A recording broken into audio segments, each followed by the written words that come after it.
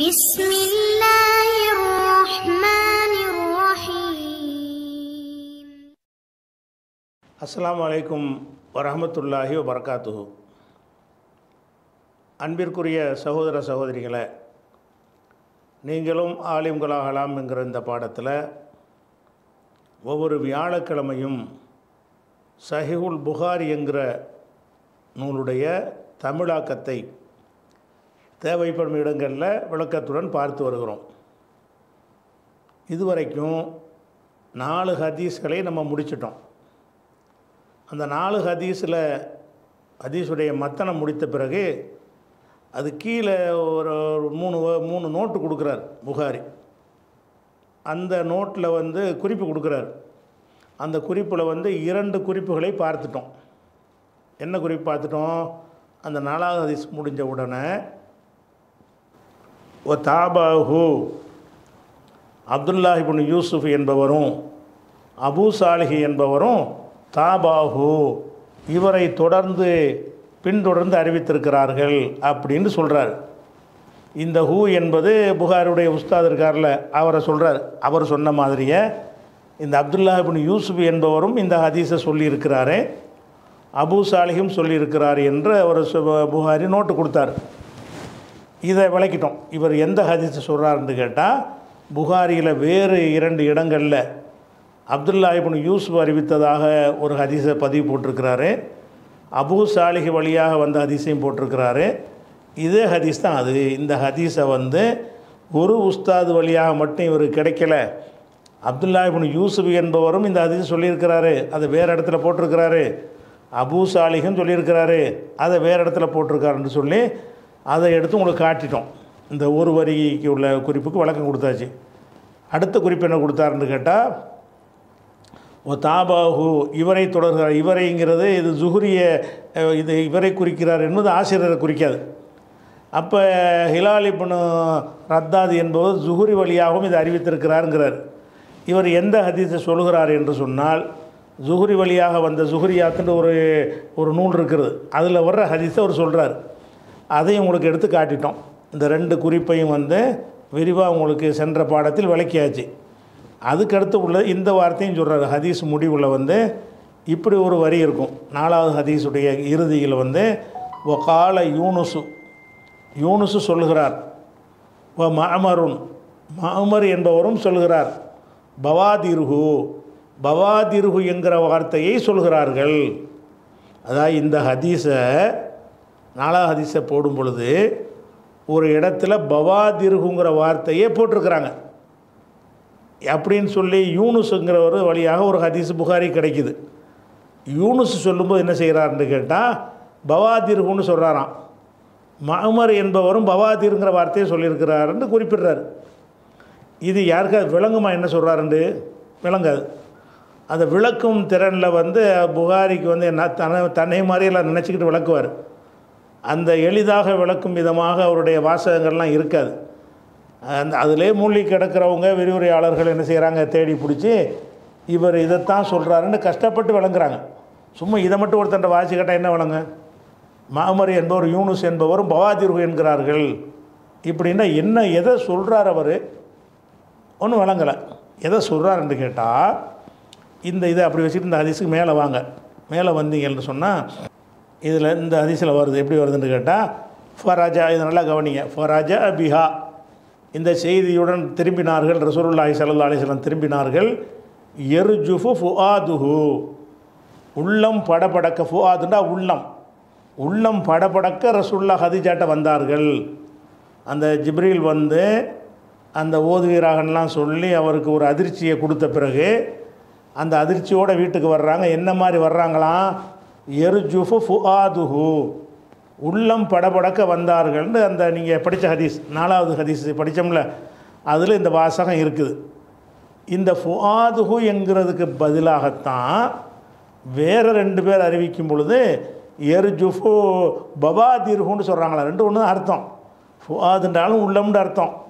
பவாதிர்ன்றாலும் உள்ளம்னு தான் அர்த்தம். உள்ளம் படபடக்க வந்தார்கள் என்பதை வந்து இந்த அறிவிப்பாளர் நம் போட்டிருக்கிற நாலாவது ஹதீஸுடைய அறிவிப்பாளர் சொல்கிறது ஃபுஆதுஹு என்கிற வார்த்தையை கொண்டு சொல்கிறார் மஹமர் என்பவர் அறிவிக்கும் பொழுது அந்த ஃபுஆதுஹுங்கிற இடத்துல வந்து நவாதிர்ஹுண்டு போட்டு அறிவிக்கிறார். யூனுஸ் என்பவர் அறிவிக்கும் பொழுது ஃபுஆது என்பதற்கு பதிலாக நவாதிர்ஹு என்று அறிவிக்கிறார். அப்போ இவர் எதை சொல்ல வர்றாருன்னு கேட்டால் இந்த ஃபுஆதுஹுண்டு இப்போ படித்தோம்ல அந்த வார்த்தைக்கு பதிலாக பவாதிர்ஹு என்று சொல்லிவிட்டார்கள். அதான் அவருடைய அந்த நோட்டில் அவர் சொல்லக்கூடிய ஒரு விஷயம். இதை எப்படி சொல்கிறாரு புரிகிற மாதிரி சொல்கிறாரா புரிகிற மாதிரி சொல்லலை. ஒகால யூனுசு மாமர் ரெண்டு பேரும் சொல்லுகிறார்கள். எதுக்கு சொல்கிறாங்கன்னா பவாதிர்வு சொல்கிறார்கள்ங்கிறார் அப்படி சொல்லாமல் பவாதிர்வு என்று சொல்லுகிறார்கள் பதில கவுளிகி ஃபுஆதுஹு. ஃபுஆதுஹு என்கிற சொல்லுக்கு மாற்றமாக பவாதிர்வு என்று சொல்கிறார்கள் என்று குறிப்பிட்டால் யாருக்கா? விளங்கும் இவர் பவாதிர்வுன்னு சொன்னார்கள்னா என்ன பவாதிர்வுண்டா என்னது? என்னத்துக்கு இப்படி சொல்கிறாருன்னு யாருக்கும் விளங்க முடியாது. அவர் எதை சொல்ல வர்றாருண்டா புகாரி வந்து இந்த ஹதீஸை வேறு ரெண்டு பேர் வழியாக எனக்கு கிடைச்சிருக்கிறது. அந்த ஹதீஸில் வந்து எர்ஜு ஃபுஆதுஹுங்கிற வார்த்தைக்கு பதிலாக எர்ஜுஃபு பவாதிர்ஹுங்கிற வார்த்தையை போட்டிருக்கிறார்கள். ஒரு ஹதீஸை வந்து யூனுஸ் அறிவிக்கிற ஹதீஸு இன்னொரு ஹதீஸு மாமர் அறிவிக்கிற ஹதீஸுங்கிறார். அப்போ இவர் சொல்லக்கூடிய அந்த ஹதீஸ் எது என்று பார்த்தீங்கன்னா யூனுஸு மாமர் யாபத்தில் வச்சுக்கிறங்க ரெண்டு பேரையும். இப்போ அந்த ஹதீஸை உங்களுக்கு தனியாக எடுத்து போட்டிருக்கிறேன் அப்போ தான் விளங்குங்கிறதுனால இது நாலாயிரத்தி தொள்ளாயிரத்தி ஐம்பத்தி மூணாவது ஹதீஸ். நாலாயிரத்தி தொள்ளாயிரத்தி ஐம்பத்தி மூணாவது ஹதீஸ். இதில் வந்து இந்த பாருங்கள் அன் யூனுசுபுனு யசீதுன்னு வருதா? யூனுசுபுனு யசீ அந்த அறிவிப்பாளர் பட்டியலில் இந்த லிஸ்ட்டு வரும் பொழுது இந்த இடத்துல யூனுசுப்புனு யூனுசுன்னு ஒரு குறிப்பிட்றாருல. யூனுஸ் அறிவிக்கிற ஹதீஸ். அந்த ஹதீஸின் நம்பர் என்ன? புகாரியில் என்ன நம்பர்னு கேட்டால் நாலாயிரத்தி தொள்ளாயிரத்தி ஐம்பத்தி மூணாவது ஹதீஸ். இந்த ஹதீஸில் தான் இதே விஷயத்தை யூனுஸ் அறிவிக்கிறார். அறிவிக்கும் பொழுது அந்த ஃபுஆது கொண்டு வரும்ல அந்த இடத்துல இப்படி போட்டிருக்கிறார். தர்ஜுஃபு பவாதிர்ஹு தர்ஜுஃபு ஃபுஆது கொண்டு போடாமல் தர்ஜுஃபு பவாதிர்ஹுங்கிறார். அப்போ யூ யூனுஸ் என்பவர் அறிவிக்கும் அறிவிப்பில் தர்ஜுஃபு ஃபுஆதுஹு என்று இப்போ நாலாவது ஹதீஸ் படித்தோம்ல அந்த வார்த்தைக்கு பதிலாக அவர் யூனுஸ் அறிவிக்கும் பொழுது தர்ஜுஃபு பவாதிருஹு என்று போட்டு விட்டார் அர்த்தம் ரெண்டு ஒன்று தான் அந்த சொல்லில் வித்தியாசமாக சொன்னால் கூட அதை ஒரு ஹதீஸாக போட்டுருவார் இவர். அவ்வளோ யாவோ சக்தி. யாவோ சக்தி நினைவாற்றல்லாம் மனுஷன் ரொம்ப நல்லா பெரிய கிஃப்ட் அவர் கொடுத்துருக்குறான் வேறு. விளக்கும் போது என்ன செய்வார்? எல்லாருக்கும் விளங்குற மாதிரி சொல்ல மாட்டார். அப்போ தர்ஜுஃபு ஃபுஆ பவாதிர்ஹுன்னு சொல்கிறார்ல இதை தான் அவர் குறிப்பிடுறார்.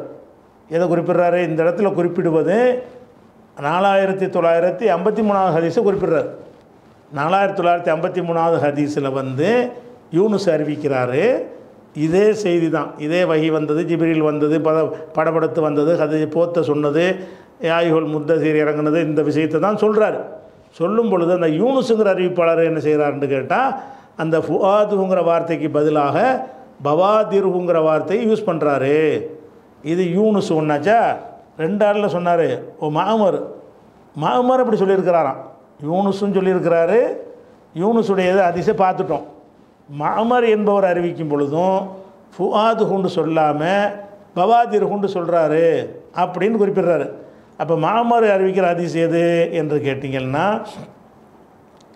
அது வந்து புகாரியில் ஆறாயிரத்தி தொள்ளாயிரத்தி எண்பத்தி ரெண்டாவது ஹதீஸ். ஆறாயிரத்தி தொள்ளாயிரத்தி எண்பத்தி ரெண்டாவது ஹதீஸ் என்னன்னு கேட்டால் இதே விஷயத்தை சொல்கிற ஹதீஸ் தான். எதை விஷயத்தை சொல்லுது? இந்த ஜிப்ரீல் வந்தது வ வகையை கொண்டு வந்தது இக்கர் என்று சொன்னது படபடுத்து வீட்டுக்கு வந்தது. இதை அறிவிக்கிற ஹதீஸ் வந்து ஆறாயிரத்தி தொள்ளாயிரத்தி எண்பத்தி ரெண்டு. அது ஆறாயிரத்தி தொள்ளாயிரத்தி அது ஆறாயிரத்தி தொள்ளாயிரத்தி எண்பத்தி ரெண்டாம் ஹதீஸை தான் அவர் இங்கே குறிப்பிடுறார். இந்த ஆறாயிரத்தி தொள்ளாயிரத்தி எண்பத்தி ரெண்டாவது ஹதீஸில் மாமர் அறிவிக்கிறார்னு வருதா? இதெல்லாம் அறிவிப்பாளருடைய பட்டியல்கள். அதில் மாமர் என்பதை பெருசாக காட்டியிருக்கிறேன் மாமர் அறிவிக்கிற ஹதீஸு. இதே விஷயத்தான் சொல்லிக்கிட்டு வர்றாரு. வரும்பொழுது இந்த இடம் வரும்பொழுது தர்ஜுஃபு வரும் பொழுது தர்ஜுஃபு ஃபுஆதுஹுன்னு சொல்லாமல் என்ன செய்கிறாரு தர்ஜுஃபு பவாதிர்ஹுன்னு போட்டிருக்கிறார். அப்போ இதை தான் அவர் சொல்கிறார் புகாரி எதை சொல்கிறாரு மஹமரும் யூனுஸும் பவாதிர்ஹுன்னு சொல்லிவிட்டார்கள் அப்படிங்கிறார். இவ்வளவும் நான் சொல்வதற்கு முன்னாடி உங்களுக்கு வழங்குமா? அல்லது இது ஹதீஸ்களை விரிவுரையாளர்கள் தேடி எடுத்து தருவதற்கு முன்னாடி எனக்காச்சும் வழங்குமா? விளங்காது அப்போ இவர் விளங்குற விதமாக பேச மாட்டேங்கிறார். இவர் என்ன செய்யணும் ஒரு நூல் எழுதுகிறோம்னு சொன்னால் இதை எல்லா வித- சா நடுத்தர மக்கள் சாதாரண ஆளுக்கெல்லாம் படிப்பாங்க. அவங்களுக்கு விளங்கணும். மாமரும் யூனுஸும் பவாதீர் சொன்னாருன்னா என்ன எவனுக்கு என்ன விளங்கு இதில்? அதை பற்றி அவர் கவலைப்பட மாட்டேங்கிறார். அப்போ என்ன செய்கிறாருன்னா கால யூனுஸ். யூனுஸ் என்பவர் சொல்லியிருக்கிறார். வேறு ஒரு அறிவிப்பில். அது உங்களுக்கு எடுத்து காட்டிட்டேன். மாமர் என்பவரும் சொல்லியிருக்கிறார். அது வேறு ஒரு அறிவிப்பில். எடுத்து காட்டிட்டேன். என்ன சொல்லியிருக்கிறார்கள்னு கேட்டால் பவாதிர்ஹு பவாதிர்ஹு என்கிற வார்த்தையை சொல்லியிருக்கிறார்கள். எந்த இடத்தில் சொல்லியிருக்கிறார்கள்? பதில கவுலிகி ஃபுஆதுஹு ஃபுஆதுங்கிற சொல்லுக்கு பதிலாக ஃபுஆதுங்கிறதுக்கு பதிலாக அப்படின்லாம் போடணும். அப்படிலாம் போட்டிருந்தாருன்னா எல்லாத்துக்கும் விளங்கி போயிருக்கும். அப்போ நான் பவாதிர்கு சொன்னார்கள்னு மட்டும் சொன்னால் விளங்க மாட்டேங்குது. பவாதிர்கு பதில கவுலிஹி ஃபுஆதுஹு. ஃபுஆதுஹு என்ற அவருடைய சொல்லுக்கு சொல்லின் இடத்தில் வந்து பவாதிர்கு சொல்லிவிட்டார்கள்னு சொல்கிறார் அப்போ இது ஒரு நோட்டு அந்த ஹதீஸுடைய ஒரு நோட்டு. அந்த நோட்டுக்கு இப்படி விளக்க வேண்டியிருக்குது. புகாரில் இப்படி நிறைய சில இடங்கள் சில இடங்கள் அப்படி வரும். ஹதீஸாக சொல்லிட்டு வரும்போது அது பாட்டு போயிட்டே இருக்கும். இவர் உள்ள நோட்டு கொடுப்பார் பாருங்க. அந்த நோட்டு கொடுத்தாருன்னு சொன்னால் அதை விளங்குறதுக்கு மண்டையை பிச்சைக்காரன் பெரும்பாலும் விளங்காது. அப்போ வந்து அது நம்ம ஹதீஸ்லேயே பரிச்சயமாக அதில் மூழ்கி கிடக்கிறவங்களுக்கு தான் விளங்கும். அது ஒரு யாபத்துக்கு வச்சுக்கணும். அப்போ நாலாவது ஹதீஸ் முடிஞ்சிருச்சா? அதுக்கு அடுத்தது இப்போ அஞ்சாவது ஹதீஸுக்கு போயிடும் நாலாவது ஹதீஸில் வந்து ஹதீஸுடைய மத்தனையும் முடிச்சிட்டோம்.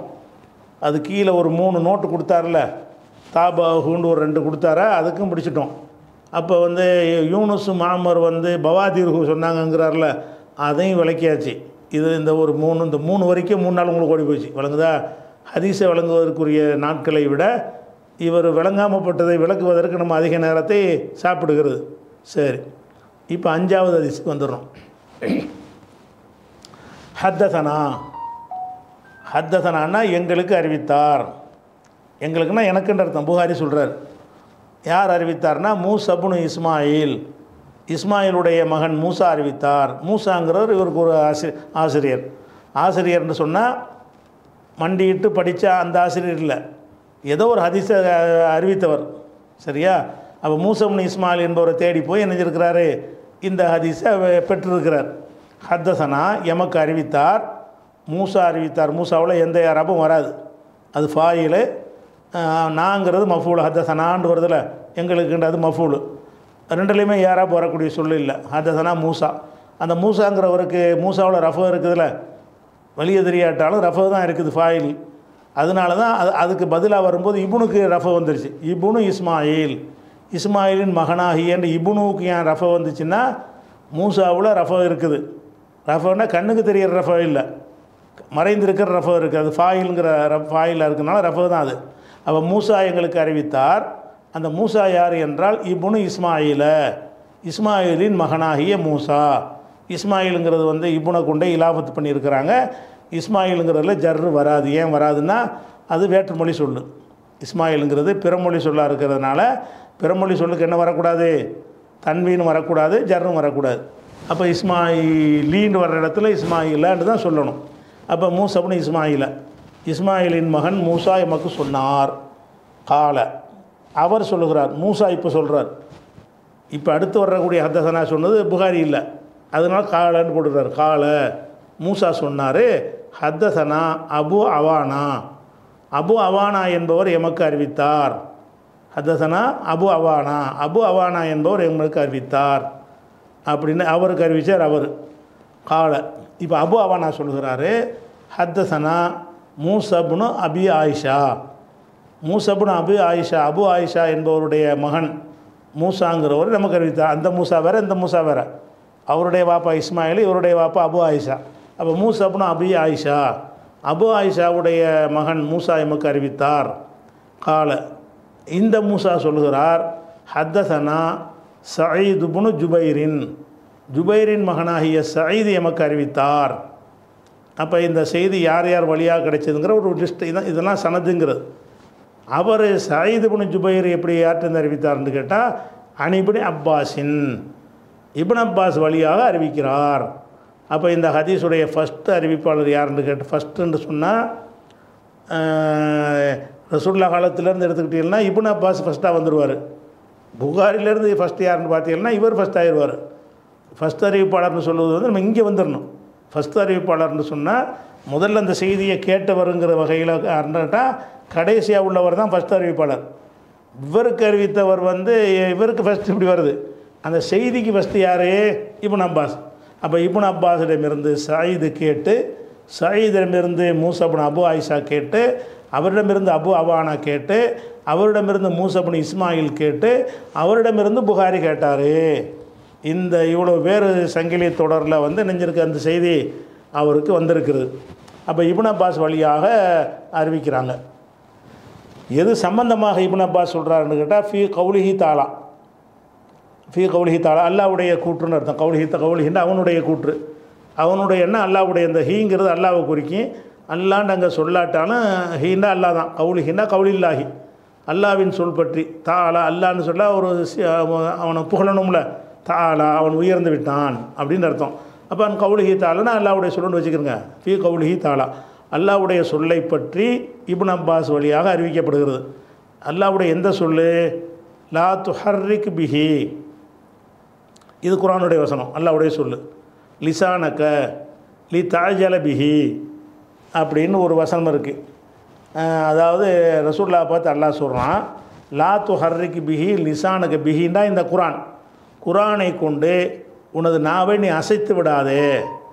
அதாவது என்னென்று என்ன விஷயம்னு கேட்டால் ரசூல்லாவுக்கு வந்து ஜிப்ரில் வந்து ஓதி காட்டுவார்ல. ஓதி காட்டினா ரசூல்லா என்ன மாதிரி அதை எடுக்கணும் ரியாக்ஷன் பண்ணணும்னு கேட்டால் பேசாமல் இருக்கணும். அவர் ஓதுன உடனே அப்படியே டேப் ரெக்கார்டு மாதிரி ரசூல்லாவுக்கு பதிஞ்சிரும்.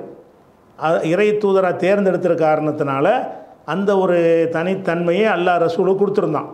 மனப்பாடம் ஒரு பக்கரா சூறாவை ஒட்டுமொத்தமாக இறங்குனாலும் அது டேப் ரெக்கார்டில் இருந்து மனப்பாடமாக பண்ணும் ஒன்ஸ் கேட்டால் ஒன்று ஓதுனா ரெக்கார்ட் ஆகி போயிருதுல. அந்த மாதிரி தான் ரசூல் சல்லா அலிஸ்லத்துடைய அந்த வகி விஷயமாக அல்லாஹ் ஒரு செட்டிங் பண்ணி இருந்தான். அதனால் ஆனால் ரசூல்லா என்ன செய்வாங்கன்னு கேட்டால் அவர் ஓதும்போது சேர்ந்து சேர்ந்து ஓதுறது. கொல் கொல்லாகுதுன்னா ரசூல்லா வாய் வாய் அசைப்பாங்க. அதை வேணாங்கிறான்லாம் லாத்து ஹர்ரிக் பிஹி. இந்த குரானை கொண்டு நீ அசைத்து விட அசைக்க வேண்டாம் லிசானக்க. உமது நாவை நீ அசைக்காத. லி தஜல பிஹி. அதை அவசரமாக அவசரப்படுவதற்காக அவசரமாக மனப்பாடம் பண்ணுவதற்காகன்ற அர்த்தம். அவசரமாக மனப்பாடம் பண்ணுவதற்காக வேண்டி அவரோட சேர்ந்துக்கிட்டு நீனும் நாக்கு நாக்கு அசைக்காத ஜிபிரியரோட சேர்ந்துக்கிட்டு நாக்கு நாக்கு அசைக்காத. இந்நாளை நான் ஜமாஹு ஓ குரானா அதை ஒன்று சிரத்துவது உள்ளத்தில் பதிய வைக்கிறது என்னுடைய வேலை அப்படின்னு எல்லாம் வந்து இதில் சொல்கிறான் அப்போ இந்த வசனத்தை பற்றி இப்போ நான் பாஸ் விளக்குறார் கோலிஹி தாலா லா பிஹி லிசானக்கலி தாஜல பிஹி. இந்த வசனத்தை பற்றி இப்னு அப்பாஸ் வழியாக இந்த அறிவிப்பாளர்கள் வழியாக புகாரிக்கு இந்த அதிசு கிடைத்திருக்கிறது. இந்த சூர இந்த வசனம் எங்கே இருக்குன்னு கேட்டால் சூரத்துல் கியாமாங்கிற சூறாவில் வந்து பதினாறாவது வசனம். இது வந்து பு புகாரி போட்டது கிடையாது. பின்னாடி உள்ளவங்க போட்டுக்கிறது இது ப்ராக்கெட்டில் போடுறது. பின்னாடி உள்ளவங்க என்ன செய்வாங்க? அதை போட்டுக்கிட்டாங்க. நம்ம விளங்கி எடுப்பதற்காக வேண்டி. கேமா சூறாண்டு. சரி இந்த வசனத்தை பற்றி என்ன சொல்கிறாரு கால. இப்னு அப்பாஸ் சொல்லுகிறாரு கான ரசூலுல்லாஹி சல்லல்லாஹ் அலைஹி செல்லம் ரசூல் சல்லா அலிசல்லம் அவர்கள் யு ஆலிஜு யு ஆலிஜுன்னா வந்து சிரமத்தை எடுத்துக்கொள்ளுது மின தன்சீலி. தன்சீல்னா நசல்னா இறக்கினான். தன்சீல்னா இறக்குதல். குரானுக்கு அந்த தன்சீலுங்கிற வார்த்தையை குரானுக்கு பயன்படுத்துவாங்க. குரான்லேயே அப்படி பயன்படுத்தப்படும். தன்சீலுன் மினல்லாஹி தன்சீலும் மின் ரபிர் ரஹீம் அப்படின்ட்டு வரும். தன்சீல்னா இறக்குதல் இறக்கப்பட்டதுங்கிற அர்த்தம். அது குரானுடைய குரானுக்கு உரிய இன்னொரு சொல்லு. யு ஆலிஜு மின தன்சீலினா மினல் குரானி குரான் விஷயமாக மின சித்தத்தன் சிரமத்தை எடுத்துக்கொள்பவர்களாக இருந்தார்கள். ரசூல்லா என்ன செய்வாங்கன்னா குரானை மனப்பாடம் பண்ணுவதற்கு பயங்கர சிரமத்தை எடுத்து அவங்களா சிரமத்தை எழுத்து போட்டுக்கிறது. அலிஃபுலாமி தாலிகள் கிதாப் பண்ணவொன்னு என்ன செய்கிறது நாலு தடவை வாய அலிஃபுலாமி தாலி அலி இப்படி சொல்கிறது அவர் அலிஃபுலாமி தாலிகள் கித்தாப்னு சொல்லிட்டு அடுத்த வசந்தத்துக்கு போகிறதுக்கு முன்னாடி இவங்க என்ன செய்வாங்க? ரசூல்லா அலிஃபுலாமி தாலி அலிஃபுலாம் இப்படி நாலு தடவை சொல்கிறது இப்போ நாலு தடவை சொன்னால் மனப்பாடம் ஆயிரும்ல. அப்படின்னு சொல்லிக்கொண்டு யு ஆலிஜு மின தன்சீலி மினல் குரானின்னு அர்த்தம். குரான் விஷயமாக அவர்கள் எடுத்துக்கொள்வார்கள் சித்த தன் சிரமத்தை கடுமையை சிரமத்தை எடுத்துக்கொள்ளக்கூடியவர்களாக இருந்தார்கள். ஓ கான மிம்மா யுஹர்ரிக்கு ஷஃபத்தைஹி. இந்த இடத்துலயே ஒரு விஷயத்தை விளைக்கிற வேண்டியிருக்கு. இந்த உள்ள ஹதீஸுக்கு போகிறதுக்கு முன்னாடி இந்த இந்த வார்த்தை இருக்குல்ல காண மிம்மா யுஹர்ரிக்கு சபத்தைங்கிறது இது வந்து எந்த ஒரு கிராமர்லையும் இல்லாத ஒரு வார்த்தை. இப்படி ஒரு சொல் அமைப்பு வராது. கிராமர் பிரகாரம். ஓ காண. அவர் இதுக்கு வந்து அவர் ஆயிருந்தார் ரசுல்லா இருந்தார்கள். மிம்மாயு ஹர்ரிக்கு அசைப்போ அசைப்பதிலிருந்து சபத்தைஹி. உதட்டை அசைப்பதிலிருந்து அப்படின்னா மீனிங் இல்லாத ஒரு அமைப்பாக இருக்குது. ஆனால் இது என்னத்துக்கு சொன்னார்னு விளங்கல். அந்த வார்த்தையை வந்து அந்த போட தெரியாமல் போட்டு அந்த அறிவிக்கப்பட்டிருக்குது. இந்த ஹதீஸில் வந்து குரானில் எல்லாமே கரெக்டாக இருக்குது கிராமர் போலாக இருக்கும்.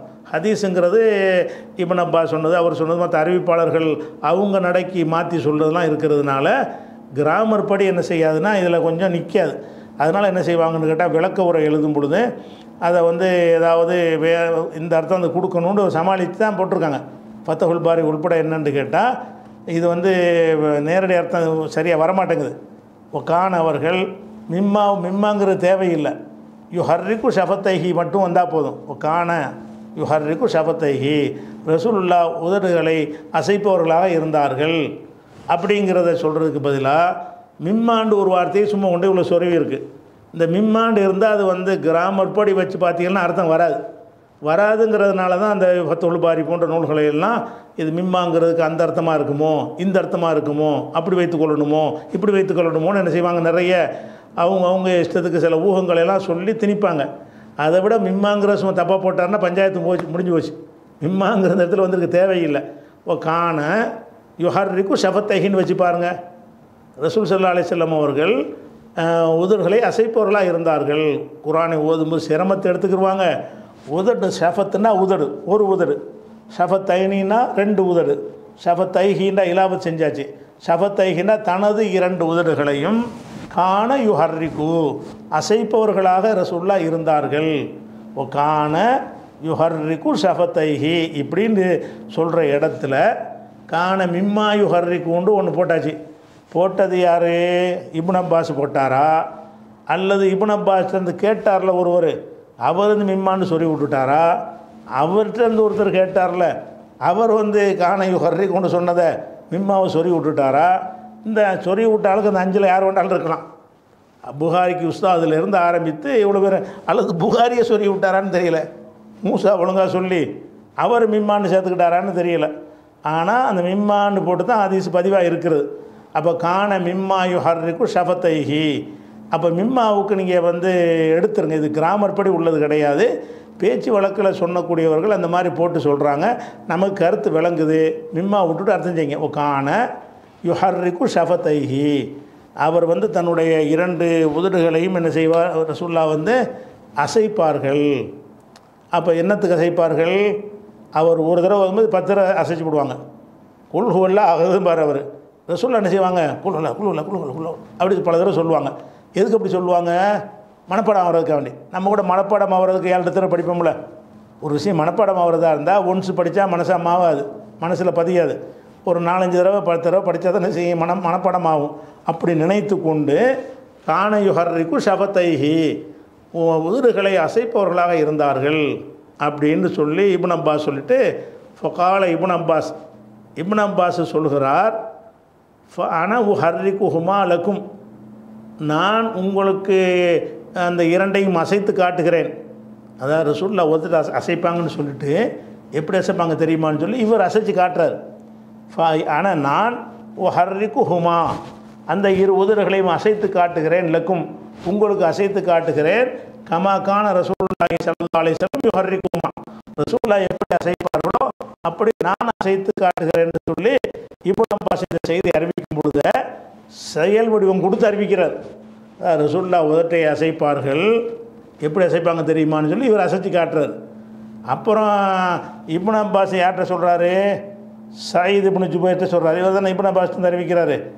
அந்த சயீது என்ன செய்கிறாருன்னு கேட்டால் கால சயீதும் சயீது சொல்கிறாரு அனவு ஹர்ரிக்குஹுமா நான் உங்களுக்கு அசைச்சு காட்டுகிறேன். கமா ராயித் இப்னு அப்பாஸின் யு ஹர்ரிக்குஹுமா இப்னு அப்பாஸ் எப்படி அந்த வாயை அசைச்சாரோ அந்த மாதிரி அசைச்சு காட்டுறேன் அப்படின்னு சொல்லிட்டு ஃபஹர்ரக ஷஃபத்தைஹி.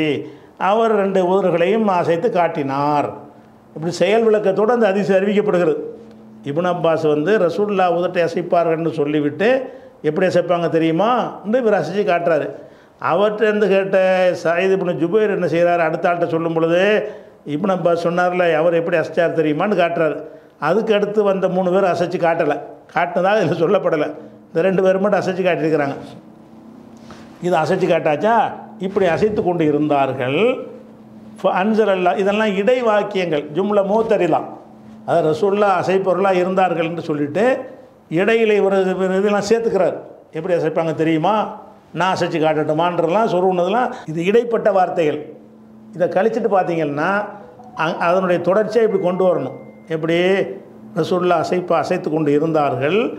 அன்சர் அல்லாஹு தாலா அப்போது அல்லாஹ் வந்து இறக்கினான். லா துஹர்ரிக்கு பிஹி லிசானக்க லி தாஜல பிஹி. அவசரப்பட்டு உமது நாவை அசைக்காத. இன் அலைனா ஜமாஹு ஓ குர்ஆனா. அதை திரட்டுவதும் ஒன்று சேர்ப்பதும் நம்மை சேர்ந்தது. அப்படிங்கிற வசனத்தை அல்லாஹ் வந்து அருளினான். அல்கியாமா பதினேழு. அது பதினாறுனா அந்த இது வரைக்கும் பதினாறு வரும். இந்த ஒன்று சேர்ந்ததுனால பதினேழு ஆகி போச்சு. அப்போ காலை இபுன் அப்பாஸ் அது விளக்குறாரு. ஜமூஹு லக்க ஃபி சதுரிக்க உனது உள்ளத்தில் அதை ஒன்று திரட்டுவதும் தக்கராகு பிறகு நீ அதை ஓதுவதும் என்னை சேர்ந்தது. அதான் ரசூல்லாவுக்கு வந்து நீ குரானை வந்து ஜிபிரில் ஓதுனா உள்ளத்தில் பதிஞ்சிரும். பதிஞ்சு மட்டும் இருந்தால் பத்தாது. பதிஞ்சபடி எடுத்து சொல்லணும். ரெண்டும் ஏன் வேலைன்ட்டான்லாம். இன்னும் அலையினா என்னை சேர்ந்தது ஜம் அஹு அதை பதிய வைப்பது ஒன்று திரட்டுவதும் ஒ அஹு குர்ஆன் என்றால் ஓதுவது. கராண்டா ஓதினான். ஒ அஹு அதை ஓத ஓதுவதும் என்னை சேர்ந்தது. அதனால் ஃபைதா கரனாகு நாம் ஓதும் பொழுது ஃபத்தபிய குரானா அந்த அவருடைய ஓதுதலை நீ பின்பற்றுவாயாக. ஃபைதா கரனாகு நாம் ஓதும் பொழுது நாம்டா ஜிப்ரில் ஓதும்போது நடத்தோம் ஜிப்ரில் ஓதும் பொழுது ஃபத்தபிய குரானகு அவருடைய குரானை ஓதுதலை நீ பின்பற்றுவாயாகங்கிற வசனம் இது ப கேமாவில் பதினெட்டாவது அடுத்தடுத்த வசனங்கள் இருக்கிறது. அதுக்கு அது அதுக்கு என்ன அர்த்தம்னு கேட்டால் ஃபஸ்தமிழகு அதுக்கு நீ செவிதாழ்த்தி கேளு வான்சித்து வாய் மூடி இரி அப்படின்னு அர்த்தம். அதாவது என்னென்னு கேட்டால் இதை இப்படி சொல்கிறதுக்கு முன்னாடி முழு வசனத்தை நீங்கள் எடுத்துக்கணும். இப்படி லா துஹர்ரிக்கு பிஹி லிசானக்க லி தாஜல பிஹி. அதுக்கப்புறம் வந்து இன்னாலைனா ஜம் அஹு ஓ குரானான்னு வருது. அந்த ஜம் அஹு ஓ குரானாவுக்கு என்ன அர்த்தம்? அதை இப்போ நம்ம பாஸ் விளக்குறாரு. அதுக்கு தொடர்ச்சியாக வருது ஃபைதா கரனாகு ஒத்தபி குரானான்னு வருது. அதுக்கு என்ன தப்சீர்னு சொல்லி அதுக்கு விளக்குறாரு. அதுக்கப்புறம் சும்மா இன்னாலேனா பயானாண்டு வர அந்த வசனம். அதுக்கு என்ன அர்த்தம் என்பதை விளக்குறாரு. அந்த வசனங்கள் தொடர்ச்சியாக ஒரு பத்தொம்போது வரைக்கும் அந்த வ- பதினாறுலேருந்து பத்தொம்போது வரைக்கும் உள்ள கேமா சூறாவில் பதினாறாவது வசனத்தில் இருந்து பத்தொம்போதாவது வசனம் வரைக்கும் நாலு வசனங்கள் தொடர்ச்சியாக இறங்குது. அந்த நாலு வசனத்துடைய ஒவ்வொரு விஷயத்தையும் சொல்லி இதுக்கு என்ன அர்த்தம்? இதுக்கு என்ன அர்த்தம்? இதுக்கு என்ன அர்த்தம்னு சொல்லி நாலு வசனத்தையும் இப்போ நம்ம பாஸ் விளக்குறாங்க. அப்படி பா- அப்படி வச்சுட்டு பார்த்தா விளங்க திருப்பி வர்றேன் பாருங்கள் இப்போ உங்களுக்கு குழப்பம் இல்லாமல் விளங்கும் அப்போ இந்த சூழலை அசைத்து கொண்டிருந்தார்களா? இப்போ அன்சல் அல்லாஹு தாலா அப்போ அல்லாஹ் இறக்கினான். என்ன இறக்கினான்? லா துஹர்ரிக்கு பிஹி லிசானக்க லி தாஜல பிஹி. இன்ன அலைனா ஜமஹு குரானான்னு வாசி வாசி காட்டிட்டார். இந்த இதில் வந்து இதுக்கு நமக்கு அர்த்தம் விளங்குது அசைக்காதேங்கிறது. இந்த ரெண்டுக்கும் விளங்கலை. இன்ன ஜம் அஹு ஓ குர்ஆனஹு அப்படின்னு நல்லா சொன்னேன். இதுக்கு என்ன அர்த்தம்னு கேட்டால் ஜம்முன்னா ஒன்று திரட்டுவது. எங்கே ஒன்று திரட்டுவது? உனது உள்ளத்தில் அதை ஒன்று திரட்டுவதுன்ற அர்த்தம். குர்ஆன் என்றால் ஓதுதல் நடத்த. நம்ம குரானுக்கு இந்த நூலை பிடிச்சி குரான் சொல்லிகிட்டு இருக்கிறோம். அது அது ஒரு அது ஒரு பேர் தான் குர்ஆன்கிறதுக்கு என்ன அர்த்தம்னா ஓதுதல். கராவுடைய மஸ்தர். குரான் என்றால் ஓதுதல்.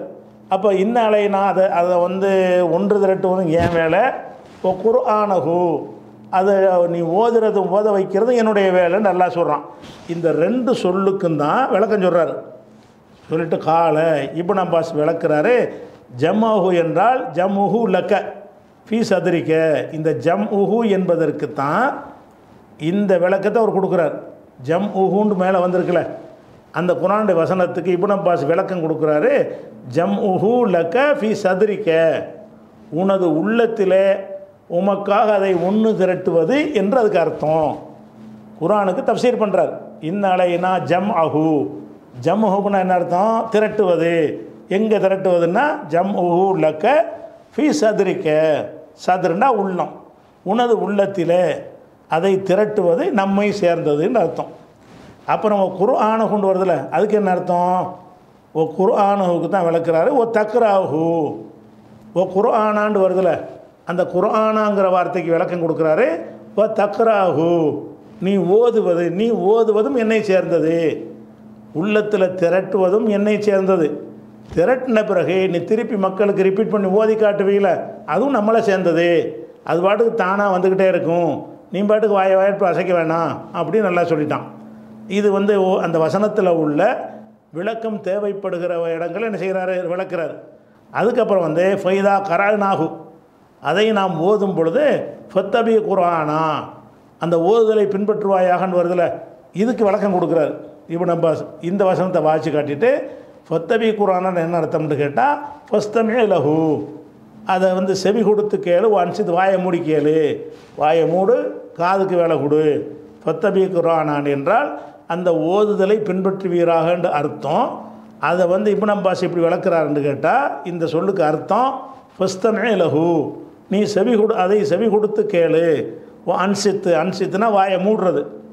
ரெண்டு வேலை செய்யணும். அதாவது ஓதுறதை பின்பற்றுறதுன்னு சொன்னால் காதுக்கு வேலை கொடு வாய்க்கு வாயை மூடு.